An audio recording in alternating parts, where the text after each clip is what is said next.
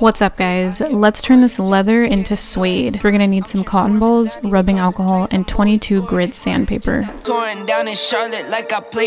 For, this video, I'm gonna be using a Jordan 1 low. However, I've noticed that this effect works insanely better on a pair of high tops, so keep that in mind if you're gonna give this a try for yourself. And make sure your cat doesn't eat your shoe while you're working. He's so cute, but nope, nope, can't get distracted. Once you've removed your cat, it's time to remove the laces. Grab a cotton ball and use your rubbing alcohol or side note, you can also use acetone to remove the gloss and cause some color fading to the uppers. Now let's get into some sanding and this is where you're going to see a big difference in the highs versus the lows because when I first started I was doing one of these, you know that Chrissy Teigen face? Because they were not coming out as sweet as I wanted them to be. But after sanding and sanding and some more sanding, I did notice a big difference between this shoe and the original leather one. Let's rewind back a little though. What this sanding does is remove the top layer of leather and exposes little fibers underneath. The low tops seem to have a tougher leather, so on the high tops you're really going to get that suede look after sanding. Be sure to do circular sanding motions, get the tough to reach areas, and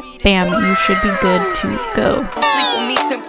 Alright, suede out of the way, let's talk about aging our soles. And you might be watching this and wondering, why on earth would you want to make your soles yellow? I mean, I literally have an entire video on how to unyellow them. Well, the answer, my friends, is that it looks freaking retro and cool, so I hope that's a good enough answer for you daughters out there. Basically, what we're gonna do is pour some Salon Care 40 on a plate and then a splash, just a splash of yellow and beige. And when I say a splash, I'm talking like how much orange juice should go in your mimosa, because we don't want them overly yellow. Guys, a drop is still too much orange juice, okay? You waft.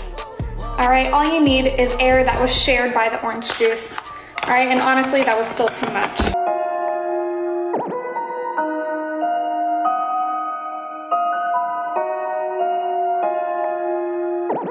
After mixing your yellow and beige together with Salon Care 40, we're going to apply one even coat that will permanently dry on your sole. Mix in more yellow or beige depending on what look you're going for.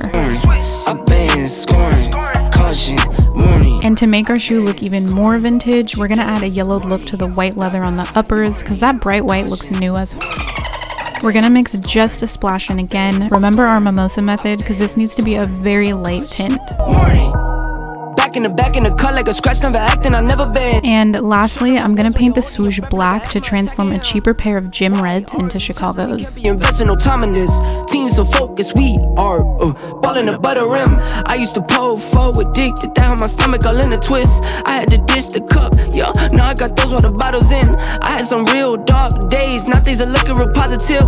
Ones who I peel apart ways. I don't need no parts of friends guess that's how the game goes. Lifestyle getting real, real. Lifestyle is a handful. I'm a one, only one dog. That's a fact, that's a case closed. Do road, then I lay low. Wake up and do it every day.